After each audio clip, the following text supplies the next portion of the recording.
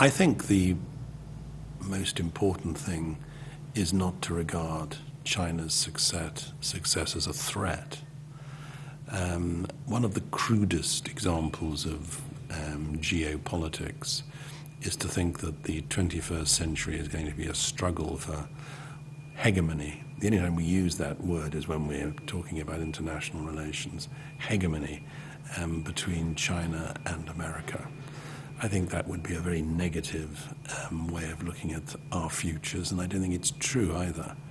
Um, we couldn't conceivably believe, for a start, that the world would be better off if China was still dirt poor. The fact that over the last 25 years, 30 years, slightly longer, um, China has lifted itself um, out of poverty, that it's become the workshop of the world in that short time. That's very good news for the world. It's one of the reasons for the deflationary boom that we've enjoyed, um, at least until the last year or so.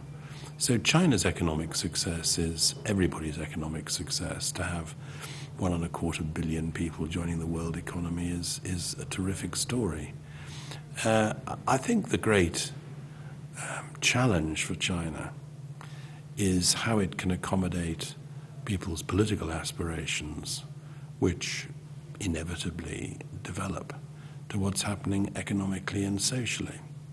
Uh, in China, um, there is a debate about whether um, the, if the party continues to give up control over the economy, it'll go on being able to control the state.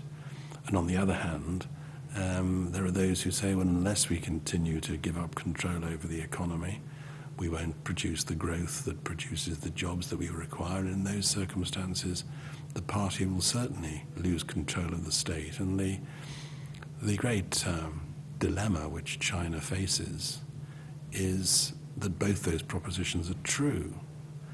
Um, and the way China handles that um, problem is going to be fantastically important, not only for China's future, but for all our futures, because it wouldn't possibly be to our advantage if China did anything other than continue to develop uh, economically, politically, as smoothly as possible with the maximum stability. The Olympics seem to be a focal point for both China rising and China reprising. Which is it? Which should it be? I think that China would um, do itself the biggest service and show that China is rising um, if it was able to demonstrate in the way that the games are handled and run that it isn't also reprising.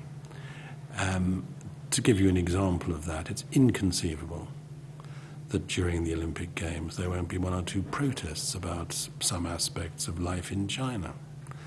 Inconceivable that there aren't any journalists who've read reports by Amnesty International.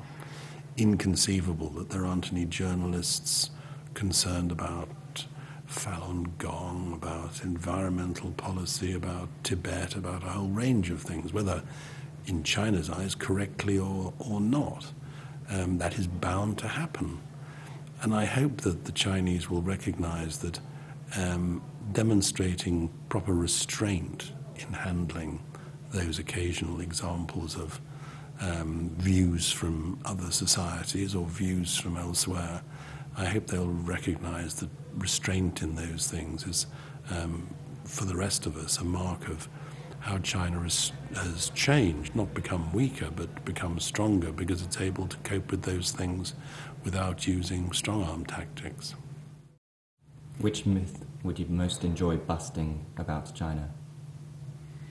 I think the Chinese have been pretty good at busting their own myths.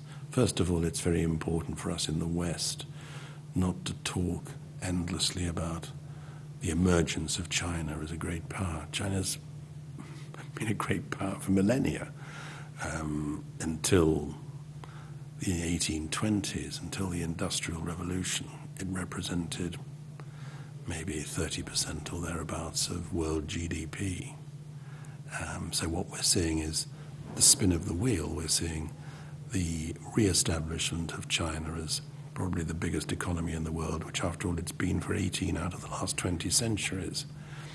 Um, I think the myth that we will see shattered is the notion that when it comes to democracy or the rule of law, there is something um, Confucian um, which uh, repels those concepts. I think that's complete nonsense.